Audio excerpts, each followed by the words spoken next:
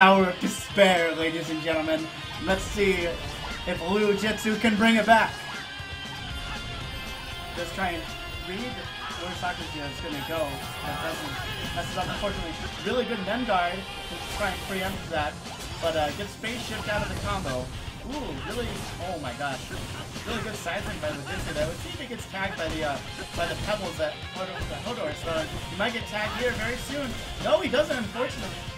Unfortunately for Sakuya, looks like he's trapped. He's totally trapped. Poor Sakuya. He's gonna just try and reset himself in the situation. Looks like he does get a little bit of a. He gets a chaser too. Let's see if he can convert it. Not much damage on Loujitsu right now. He's looking pretty good. Alright. Ooh! We got the Tiger Roar.